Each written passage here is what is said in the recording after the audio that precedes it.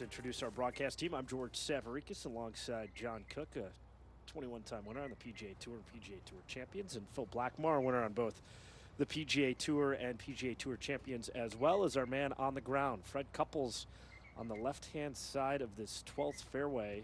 Let's say hello to Phil Blackmar. Big, is he boxed out with the second, or does he have an angle? Well, he doesn't have an angle, but he's got a shot. How's about that, George? He's Okay. got 198 yards it back into a little breeze. He's got to turn it around this tree in front of him. The hole's cut over in the right front of the green. It brings the water in play that's in front of the screen and angles to the right. Beautiful day, as you mentioned, just a light breeze, soft conditions after the rain last night. Players taking advantage of it. This is a par five, so his second on the par five. Gonna need a good strike, get this ball up in the air big to carry that right part of that water hazard to sling it back from right to left. Got to got to clear of the water hazard, and that's that's not too bad. That's not a bad leave, honestly. Clark to two under par. Same hole. Fred Couples, even at this point in his round, for birdie. From the other side of the hole, down the hill. See if Fred could get his round going, and he does. Just gets that one to roll out. Couples to one under through six. More from Fred on the par three eighth. 153 yards today, the par 3 8. Just a 9 iron for Fred. Staring it down, why wouldn't he? Right over top of the flagstick. He doesn't have much green to work with. The ball's sitting down a little bit. The tree maybe just barely out of his way. It'll be interesting to see. He's going to have to take a longer swing to loft this high in the air without much green to work with. He's really good at these shots, John. He has very dead, soft hands when he plays these. Yeah, he has those soft hands. He was going to take a you know real long swing, kind of maybe almost decel a little bit and flip it up in the air. We've seen Fred hit a lot of good, a lot of good shots similar to this. Pick that club up nice and quick, get it straight up in the air, drop it right on the back of the ball, get that right hand flipped under. Not quite the strike that he was hoping for. Back to the 12th. Fred Couples, uphill birdie putt. Putting back up the hill, it's been since 2017, his last win here on the PGA Tour Champions, and you know he has said how much he'd like to get back into that winner's circle. Mm-hmm. Doesn't have his best stuff though so far here today. Yeah, he let one get away right there. Big. Got to get through number 12 with no more than four. Fred Couples' turn, 13th tee. Uh, Hand came off the club there, Big. Hit it a little right here. It's a very good par four. You need to hit the fairway. That just barely catches the long rough. It'll be a tough second. Yeah, 13th rough with Fred Couples. And Phil, this lie's looking a little nasty. Yeah, it, it's probably more nasty than it looks sitting down in this rough. About three and a half, four inches of rough this week. He's got 210 yards all the way back to the hole. Got to go around this tree. got Degree one- of difficulty pretty high. yeah. He's got one. Had one of his hybrids out. Big, just trying to run it up the center of the green. He does a nice job. That might get up to the top. Catch that little ridge. Will it stay? From across the ridge, Fred Couples for birdie on 13. Putting up and over, as you mentioned, George, flattens out once it gets on top. It's going to swing a little bit to the right throughout the entire putt. Might have got a little bit of a speed read off of Steve Stricker. Had it Comes up a little short. He did on the ninth as well, a similar putt that he three putted, came up short of the first. Can Couples make it three for three? Got that old square three wood. He's had a number of these, but these are back from the mid 90s, I think. It was a long time ago for these these three woods. Might have been earlier than that. Looks like that was right down the center. Good tee ball from Fred Couples. All three in good position there at the 14th. So, Phil, you were saying you prefer the left hand side. I'm assuming the angle here for Fred is what you had in mind. It, it is. That Stricker's ball looks pretty close from here. Might be hard to do any better than that. Just a wedge here for Freddie.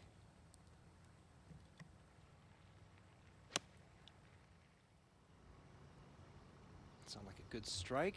Yeah, sounded flush. Underneath the hole. Didn't quite control the spin as well as Strick, but Oh, just inside of him. just kisses Strick's ball there, right?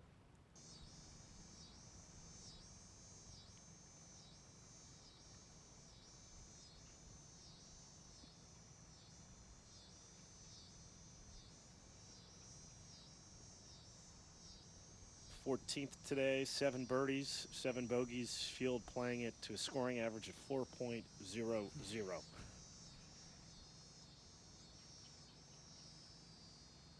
Fred had to get a good read off of Strick's ball.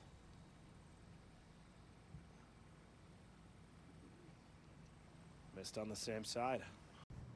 Back now on the 15th tee, Fred Couples will have the honor in this threesome. Well, as John mentioned just a few moments ago, just put the ball in play here, unless you've got 180 mile an hour ball speed like Harrington does. Not many on this tour have 180. I don't know that this tour has seen 180. John, do you think? All right, this is our Trackman Tracer presented by South Dakota Highway Safety. That's been the miss for Freddie today. Yeah, out there to the right in that right rough. No harm done with the hole location in the back. I know people at home are going to be tired of us talking about hole high, but it is a number one with irons. Can Fred deliver from the rough? Tough shot, downhill lie, delay, but it wasn't bad. A little bit of green, more green to work with from that angle. Takes advantage of it. Good Yeah, shot. that'll get a little bit better too. So that was a nice, uh, nice work there for Fred. Definitely. This will move a little right off the strike and then straighten out.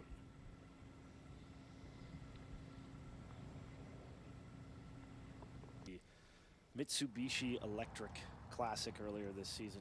Fred averaging 296 off the tee. Certainly move it. Got the right side of the tee here, big, trying to hit a cut. He's leaning. Maybe didn't think was enough. Fred from way in the left trees. Just laying it up.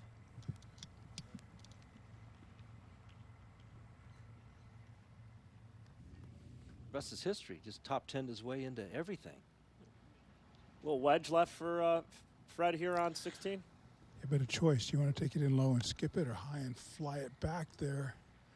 Looks like he's trying to fly it all the way back there, and Might have not cut- what he was looking for. No, not at all. That would be an interesting little pitch shot. Fred Couples fourth from just off the green on 16. He might make this one. Lie's good. He can get cleanly onto the ball. I don't think there'll be a problem here. It's got a lofty club. Just pitch it on, let it release a little. Contact has to be clean. He's got it way back in his stance like he likes to play this. Hands ahead. De-loft the club a little bit. It was well played, but I think a missed opportunity there for Fred, making fives on all the par fives today. In the fairway on 18 for Harrington. Slip back to the 17th tee. Fred Couples. John, why does his swing last so long? Had back trouble, yet the swing's still long and languid. Just that.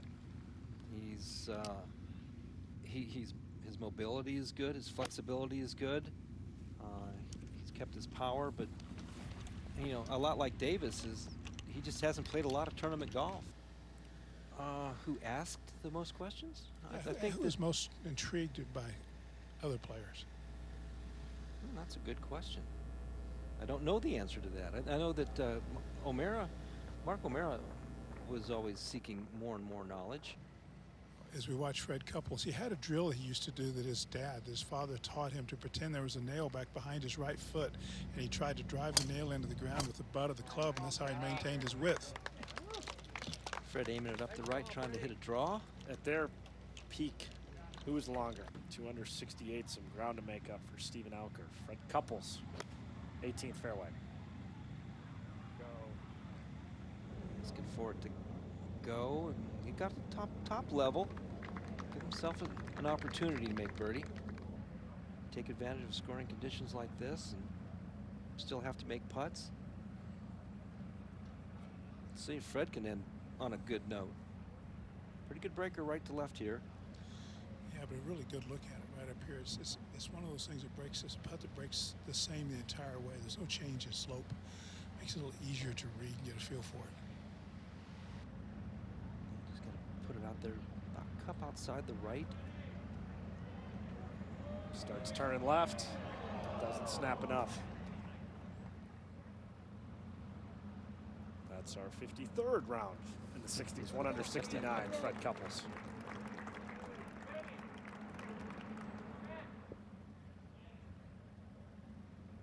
George, we got important matches next week. Both the assistant captains. Freddie, you first. What are you looking forward to the most about the matches? Uh, you know, for me, it's it's it's just a personal fun to watch these guys hit the golf ball. And I said it the very first time when I was a captain in 09 that you rarely stand behind people when they're hitting. When we play, we're always to the side. And just to watch them say, "I'm going to hit it here and turn it there or cut it there," five days of that is is just gravy for me. I really enjoy it. Steve last year at Whistling Straits led the team, and I just try and keep them as loose as they can. And then next week, Davis, and it'll be the same for us. Steve, how about you? Your thoughts? Yeah, it, uh, much what Freddie said. It's uh, it's just a treat to be a part of these teams still. You know, uh, when we get up in age like we are, and, and Freddie's a little bit older than all of us, but we all we all love being around him, right? And and the guys love having him around, and, and we love being with all the guys. It's uh, it's a special treat for us, and if you can't play, this is the next best thing: is to be a part of these teams as an assistant captain and. Uh, just to help them out in any way we can, and Davis is, you know, a great captain. and He'll do a great job, but it's it's a treat for us to be there. We look forward to watching. I tell you, I wish I could be in the locker room with you guys. I want to pick your brains about how you guys play. It's pretty fun to watch you play. Yeah. George, back to you guys. So I mentioned Hall of Famer Fred Couples with, with the solid round today. We're going to take a look at some of the highlights from Freddie on the tee at the par 3 10th. First swing of the day was a pretty good one.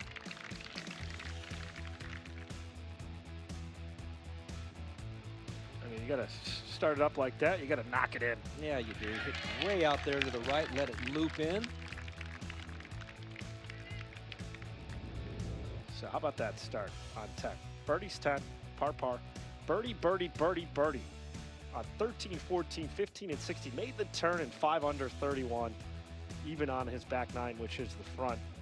But at 5 under 65, there's a chance on Sunday. Fred Couples to the 17th. Have seen some flashes out of Fred Couples this week. Had a second round 65 today. Bit of a struggle. Three over on his round. Yeah, not a good day here for Fred. 186 yards today, the 17th. Seen some good shots so far, and there's another one. All right, you feeling it? Freddie make it two in a row? Yes, Couples. just through the break a little bit. Just hangs out on the high side. Par on the card for Couples. Rip ahead to the 18th. Fred Couples from the fairway. To this back right hole location. Needs to stay up. Easy. Okay. Got on the proper level. To the scene on 18. Fred Couples for birdie. Got it on the proper level. That goes uphill. Slow putt. Will he finally make one? Yes! Oh! Took a while. Couples giving something to the fans to close out his week. Teased him there for a minute.